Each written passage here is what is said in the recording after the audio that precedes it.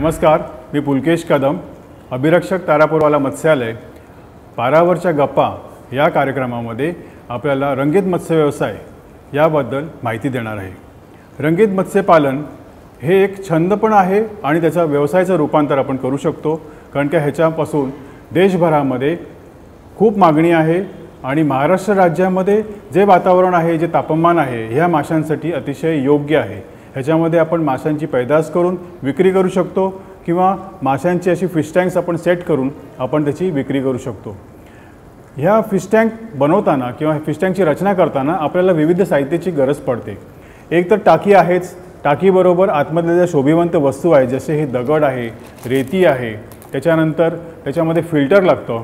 Air stone heater air pipe या वस्तू ह्या फिश टँकसाठी आवश्यक आहेत. हे सगळं जोडल्यानंतर आपण ह्या फिशटॅग ह्या पद्धतीने आपण रचना करू शकतो. आता ह्याच्यामध्ये महत्त्वाचा भाग असा आहे की जेव्हा आपण मासे सोडतो त्यावेळेला त्याच्यामध्ये अँटी क्लोरीन त्याला हायपो असं म्हणतात. हे हायपो टाकणं आवश्यक आहे. त्याच्यामुळे पाण्यामधलं क्लोरीन उडून जातं आणि आपण मासे त्याच्यामध्ये व्यवस्थित सोडू शकतो.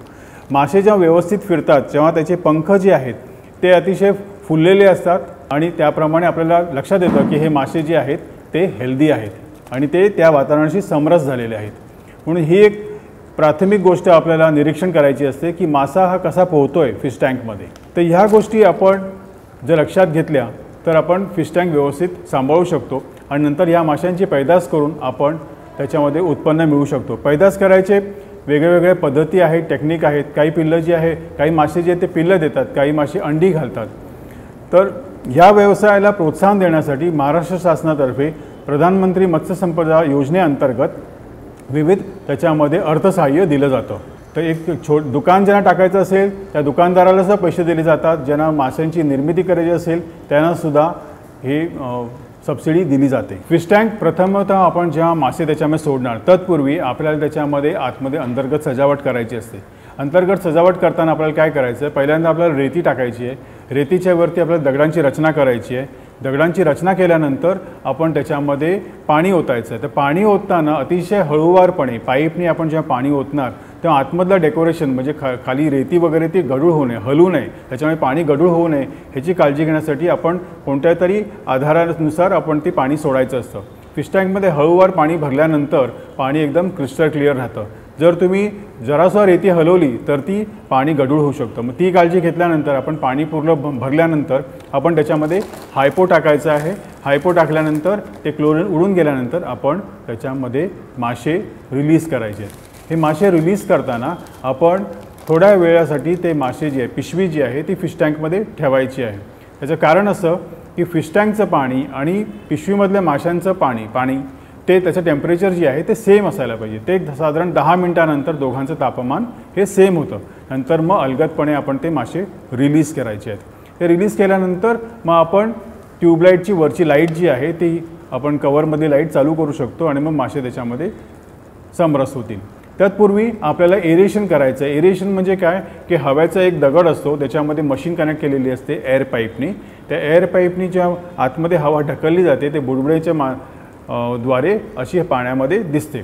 तर तो एक फवारासारखा दिसतो आणि दुसरं एक आहे इंटरनल फिल्टर तो एक फिल्टर असतो पॉवर फिल्टर असतो. तो काय करतो? पाणी घेसतो आणि वरती स्पंजमधून टाकून तो पाणी क्लिअर करतो. म्हणजे फिश टँकला फिल्टर असणं आवश्यक आहे. तर ते त्याप्रमाणे ह्या फिश टँकची रचना केलेली आहे.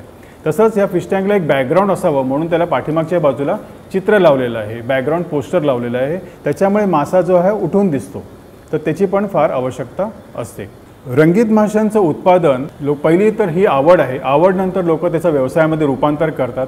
आणि याचा व्यवसाय म्हणजे असा होऊ शकतो की घराच्या पडवीमध्ये म्हणजे घराच्या मागच्या बागे बागेमध्ये सुद्धा आपण ही माशांची पैदास करू शकतो. लहान स्वरूपामध्ये आपण जर त्याची पैदास केली तर त्याला आम्ही परसबागेमधील मत्स्य व्यवसाय असं म्हणतो. आणि त्याला तीन लाखाची एक योजना आहे. त्याच्यामध्ये एक लाख वीस हजार रुपये आपण त्यांना सबसिडी देतो. तर ह्याच्या अंतर्गत आपण जे पिल्लं देणारे मासे त्यांची आपण पैदास करून आपण बाजारांमध्ये विक्रू विक्री करू शकतो. आणि त्यांना हे वेगळ्या वेगळ्या प्रकारचं खाद्य जे आहे तुम्हाला मागे दाखवलं हे वेगळ्या वेगळ्या प्रकारचं खाद्य आपण त्यांना दावून टाकून मासे आपण ते वाढवू शकतो. तिसरं आहे सगळ्यात मोठं म्हणजे इंटिग्रेटेड ऑर्नामेंटल फिश प्रोजेक्ट तर ह्या प्रोजेक्टमध्ये मोठ्या प्रमाणावरती माशांची निर्मिती करून ते संलग्न असे छोटे छोटे जे व्यापारी आहेत किंवा जे शेतकरी आहेत त्यांना आपण पिल्लं देऊन त्याची वाढ आपण करून विक्री करू शकतो. तर ह्याच्यामधून वार्षिक सरासरी उत्पन्न जे आहे ते लहान प्रकल्पामधून आपल्याला वार्षिक सरासरी उत्पन्न दोन लाख मिळतं. त्याच्यापेक्षा जर मोठं होत असेल तर आपल्याला साधारण आठ लाख वार्षिक उत्पन्न मिळतं. आणि जे सगळ्यात मोठं युनिट आहे पंचवीस लाखाचं युनिट आहे त्याच्यामधून वार्षिक आपल्याला साधारण दहा ते बारा लाख रुपये उत्पन्न मिळू शकतं. हे रंगीत माशाचं व्यवसायाचं वैशिष्ट्य काय आहे? तर त्याच्यामध्ये कमी भांडवल आणि कमी वेळेमध्ये आणि कमी जागेमध्ये हा व्यवसाय केला जातो. आणि हल्ली लोकांमध्ये ही आवड निर्माण झालेली आहे. घरामध्ये एक नैसर्गिक वातावरण निर्माण व्हावं यासाठी लोक फिश टँक ठेवतात. तर त्या धर्तीवरती ह्या माशांची निर्मिती आपण करू शकतो. महाराष्ट्र राज्यामध्ये वातावरण अतिशय उत्कृष्ट आहे. पाण्याची प्रत पण चांगली आहे. जमिनीची प्रत पण चांगली आहे. त्याच्यामुळे आपण हे माशांची पैदास करू शकतो. हा व्यवसाय जो आहे हा जसा आपण गुरं किंवा गायी पाळतो किंवा बकरी पाळतो त्याच धर्तीवरती आपण हा व्यवसाय करू शकतो. अतिशय लहान जागेमध्ये एक किंवा दोन स्टँड ठेवून त्याच्यामध्ये आपण मासे वाढवू शकतो त्यांची पैदास करू शकतो. सुरुवात ह्या पद्धतीने केल्यानंतर आपल्याकडे मातीचा पाण्या पाण्याचा हौद असतो त्या पाण्याच्या हौदामध्ये हे मासे वाढवू शकतो आणि मग ते विक्री करू शकतो. शेततळी असतात तर शेततळीमध्ये आपण हे मासे वाढवू शकतो. आणि त्याची विक्री करू शकतो. म्हणजे हा जोडधंदा म्हणून हा अतिशय उत्कृष्ट आहे. नगाला नग पकडला तर आठ महिन्यात आपल्याला कुठला पण मासा तयार करायला तलावामध्ये लागतो आणि त्याची किंमत साधारण आपल्याला शंभर रुपये मिळते. म्हणजे खायचे जे मासे आहेत रोहू कटला मृगल. पण त्याच विरुद्ध हे जे रंगीत मासे आहेत तर तीन महिन्यामध्ये तुम्हाला तेवढीच किंमत देऊन जातात. तेवढे जलद ते वाढतात आणि त्याचा रंग चांगला असल्यामुळे त्याची बाजारामध्ये त्याला मोठी मागणी आहे. महाराष्ट्र हे सगळ्यात मोठं मार्केट आहे. ह्याच्यामध्ये देशभरातून मासे विक्रीसाठी येतात. म्हणजे कलकत्ता केरला चेन्नई इथून ते मासे आपल्या मुंबईमध्ये येतात आणि मुंबईतून प्रत्येक जिल्ह्यामध्ये हे मासे विक्रीसाठी पाठवले जातात. हेच मासे जर आपण आपल्याकडे म्हणजे महाराष्ट्र राज्यामध्ये जर त्याची निर्मिती केली तर आपल्याला बाहेरून मासे आणायची गरज पडणार नाही आणि दुसरं म्हणजे इकडच्या इकडे आपल्याला उत्कृष्ट रोजगार लोकांना प्राप्त होऊ शकेल. म्हणून जर सगळ्यांनी ह्याच्यामध्ये इंटरेस्ट घेतला ह्याच्यामध्ये आवड निर्माण केली ह्याची माहिती करून घेतली. मत्स्य व्यवसाय विभाग आपल्याला सदैव ह्याच्याबद्दल माहिती देईल. प्रशिक्षण वर्ग घेतेच आहे. तर आपण रंगीत माशाचा मोठ्या प्रमाणावरती जर महाराष्ट्र राज्य त्याचं उत्पन्न करेल तर त्याचं त्याच्यामध्ये लाभ जो आहे तो ग्रामीण भागामधल्या लोकांना भरपूर मोठ्या प्रमाणे होऊ शकतो. पारावरच्या गप्पा या कार्यक्रमामध्ये रंगीत माशांची माहिती देण्यासाठी बोलवलं. ह्याच्याबद्दल मी कृषी कल्याण या चॅनलचे आभार मानतो. धन्यवाद. कृषी कल्याण हे आपले कृषी कल्याण हे आपले कृषी कल्याण.